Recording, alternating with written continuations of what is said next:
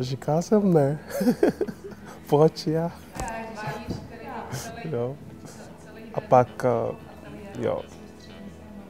Říkal, jo, můžu taky zkoušet, tak.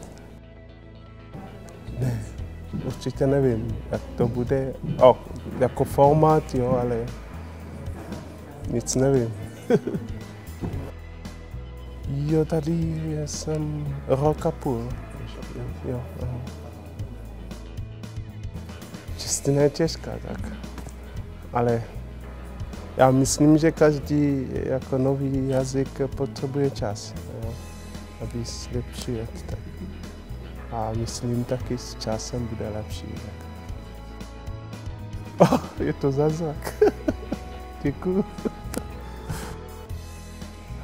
Jo, všechno jako v češtině. Dělám taky kázání češtině, ale jako všechno je napsáno.